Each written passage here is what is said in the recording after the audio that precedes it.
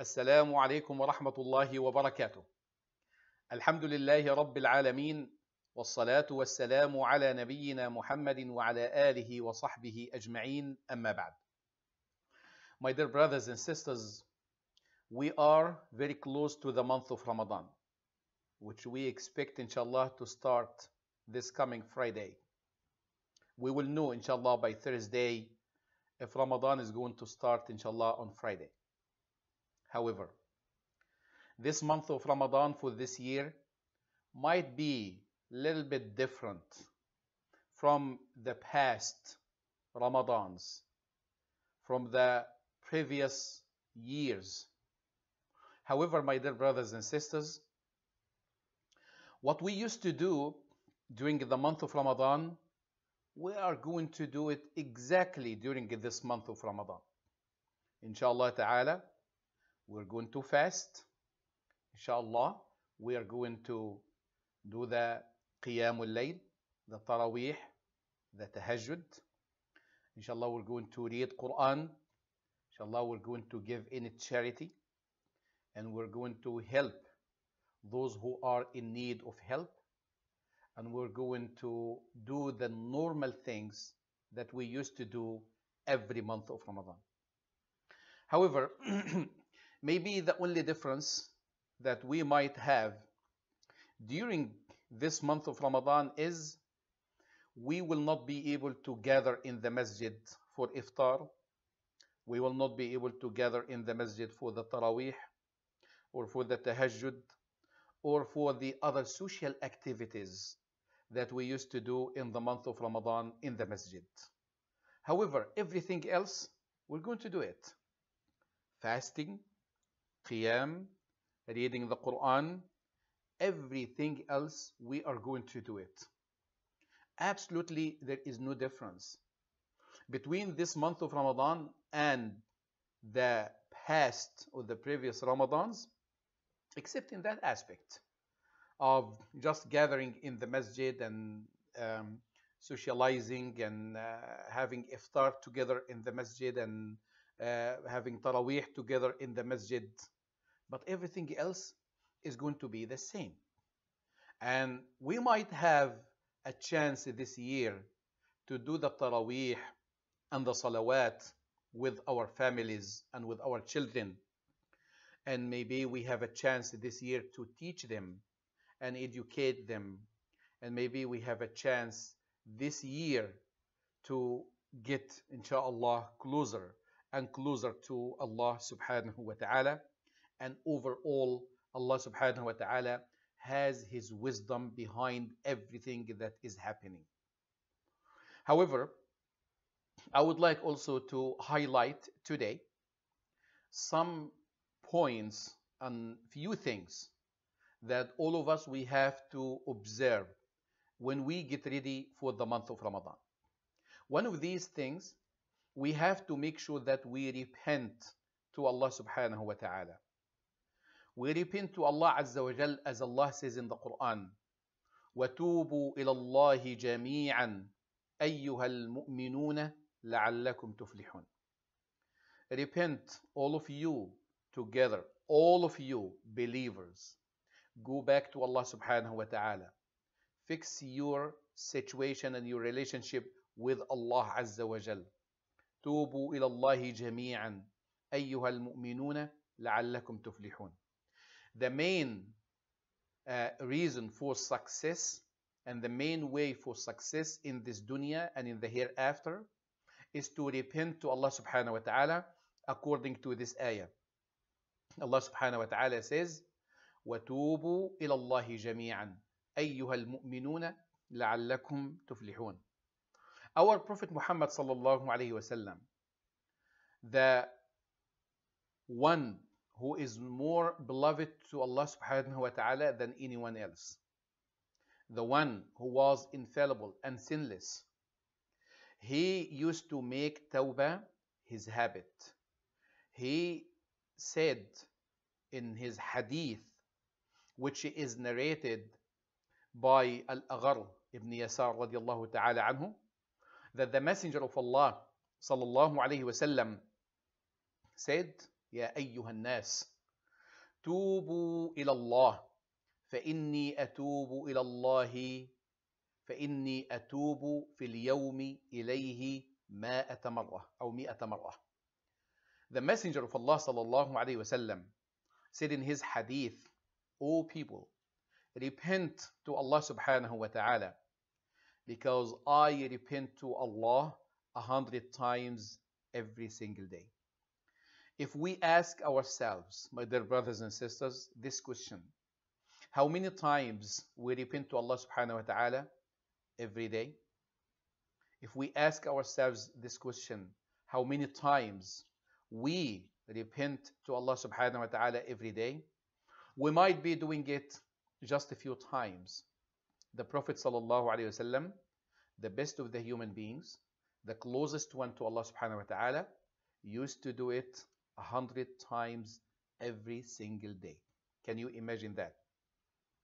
Repentance means to admit our mistakes and our sins to Allah subhanahu wa ta'ala and to regret what we have done, to feel guilty about it, and to determine not to go back to these sins and these mistakes. And on the top of that, if we had done anything wrong to anyone, we have to ask the forgiveness of this person before he or she comes on the day of judgment and takes from our good deeds and we end up being bankrupt from our deeds and our actions on the day of judgment. My dear brothers and sisters, this is the first step to get ready and to prepare for the month of Ramadan. The second step is to make sure that we are getting closer to Allah subhanahu wa ta'ala by the dua and the supplication. And this is, my dear brothers and sisters, in the ayat that talk about the month of Ramadan and the fasting in Surah Al-Baqarah. Allah subhanahu wa ta'ala included in these ayat telling his Prophet sallallahu alayhi wasallam and this is a message for every Muslim وإذا سألك عبادي عني فإني قريب أجيب دعوة الداعي إذا دعان فليستجيبوا لي وليؤمنوا بي لعلهم يرشدون If my servants ask you, O Muhammad sallallahu alayhi wasallam, about me, I am close to them. I am very near to them. I respond to the supplication of the one who supplicates to me. أجيب دعوة الداعي إذا دعان. Let them respond to me. Let them accept my call of worshipping me and not associating a partner with Allah subhanahu wa ta'ala. As he says in this ayah, فَلْيَسْتَجِيبُوا لِي and let them believe in me so that they will be guided. So my dear brothers and sisters, the uh, Salaf, the companions of the Prophet sallallahu alaihi wasallam and their followers, the righteous predecessors, used to make dua to Allah subhanahu wa ta'ala six months before the month of Ramadan, asking Allah to grant them life and health so they can reach the month of Ramadan. كانوا يسألون الله أو يدعون الله ستة أشهر أن يبلغهم رمضان. And after the month of Ramadan, they used to make dua to Allah subhanahu wa ta'ala for five months that Allah accepts their actions during the month of Ramadan. So, six months before the month of Ramadan, they used to ask Allah to give them the life and the health so they can reach it this month. And five months after the month of Ramadan, they used to ask Allah subhanahu wa ta'ala to accept what they have done during the month of Ramadan of the good deeds and the righteous actions. My dear brothers and sisters, we will get ready also for the month of Ramadan by becoming happy about it. We have to be happy about welcoming this month. We should not show any kind of displeasure or any kind of impatience during the month of fasting, but we have to show Allah subhanahu wa ta'ala that we are pleased and we are happy with the month of Ramadan. Allah says in the Quran, قل بفضل الله وبرحمته فبذلك فليفرحوا هو خير مما يجمعون Say, O Muhammad sallallahu alayhi wasallam, with the bounty and the grace of Allah subhanahu wa ta'ala, and by the mercy of Allah azza wa jal, let them rejoice, let them be happy. This is much better for them than what they have been collecting and what they have been accumulating. قل بفضل الله وبرحمته فبذلك فليفرحوا هو خير مما يجمعون. So be happy to welcome the month of Ramadan and be pleased with the fasting, with the charity that you give, with the help that you offer to the people, with the recitation of the Quran, with the salah that you're going to perform, everything. Allah subhanahu wa ta'ala, He listens to us and He hears us and He answers our supplication, our dua, and He accepts our worship, whether we do it in the masjid or we do it at home or we do it anywhere else. The only difference, as I said in the beginning, is that we will not be able to gather in the masjid because of the health situation and the problem that we have nowadays. We don't want anyone to be harmed. But everything else we're going to do, inshallah, in Ramadan, as we used to do every single year. But ask Allah subhanahu wa ta'ala to make it easy and ask Allah subhanahu wa ta'ala to accept the uh, ibadat, the worships. And my dear brothers and sisters, the conditions of accepting the ibadat or the uh, worship by Allah subhanahu wa ta'ala is number one, we have to be sincere in our worship. Number two, we have to make sure that we are doing it according to the way that the Prophet sallallahu alaihi wasallam used to do it. As he commanded his companions and he guided them by saying, Sallu kama ra'aytumuni usalli. Pray as you have seen me praying. And he told them also in the Hajj, خذوا عني مناسككم. Take your rituals from me. My dear brothers and sisters, also welcoming the month of Ramadan, we have to make sure that we are fixing the relationships with everyone. We have to make sure that we are purifying and cleaning our hearts from all kinds of bad feelings, all kinds of grudge, all kinds of envy, all kinds of hatred, and all kinds of bad things and evil.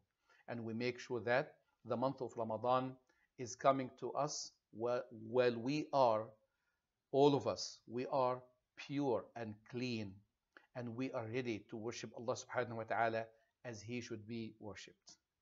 Also, from the things that we have to make sure that we are preparing for the month of Ramadan is to equip ourselves with the knowledge and especially with the rules of fasting and especially with the teachings and instructions and the guidelines for fasting and also for the qiyam and for reading the Quran and all kinds of ibadat that we do during the month of Ramadan. And my dear brothers and sisters, I'm available all the time. And um, we are going, inshallah, to um, uh, talk more and more about the rules of fasting and the etiquettes of fasting and the recommend recommendations of fasting and whatever is needed for this month. But if you have any question at any time, please feel free to email me imammasjidfresno at gmail.com or to contact us via the phone number of the masjid which is 559-222-6686 or my cell number 559-273-3672. We also have the YouTube channel and our website of the masjid and it's updated with all the information. And these days, even I am, I know that there is no Jama'ah prayer in the masjid, but I am sending the Iqama updates to remind everyone with the Iqama time that this is the time for the Isha, this is the time for the Fajr, this is the time for the Maghrib, this is the time for the Asr, for the Dhuhr. So we will all be reminded with these Iqama times. My dear brothers and sisters, one of the things that we need to make sure to do for the month of Ramadan, and I am sure that this is going to be doable for everyone because we have the chance and the opportunity to do that, is to sit with the family, with the children, and teach them and educate them and give them all the instructions and the teachings about the month of Ramadan. If you were in the habit of doing anything during the past uh, Ramadan, please do not stop this habit. If you were in the habit of doing the, the, the, the, the prayer in Jama'ah, you can still do the prayer in Jama'ah at home. You were in the habit of helping other people with the iftar, you can still do that through the masjid or by yourself. You can still help the people with the iftar. If you were in the habit of giving in a charity, still you can give in a charity. All the actions and all the deeds that we used to do in Ramadan, we can still do them in this month of Ramadan. Or maybe Allah subhanahu wa ta'ala has His wisdom behind all what's happening. So, my dear brothers and sisters, get ready for the month of Ramadan. Be happy about it. Welcome it with pleasure and try your best to benefit and to take advantage of this month as much as you can. This is my message and this is my advice for myself and for all my brothers and sisters as we are approaching the month of Ramadan. May Allah subhanahu wa ta'ala make it easy for us. May Allah subhanahu wa ta'ala accept our fasting. May Allah subhanahu wa ta'ala accept our prayer, our dua, and all kinds of worship that we do for His sake. May Allah subhanahu wa ta'ala make all of us from those who listen to the words and follow the best of them. اللهم إنا نسألك الهدى والتقى والعفاف والغنى ومن العمل ما ترضى برحمتك يا أرحم الراحمين سبحانك اللهم وبحمدك أشهد أن لا إله إلا أنت أستغفرك وأتوب إليك والعصر إن الإنسان لفي خسر إلا الذين آمنوا وعملوا الصالحات وتواصوا بالحق وتواصوا بالصبر جزاكم الله خيرا والسلام عليكم ورحمة الله وبركاته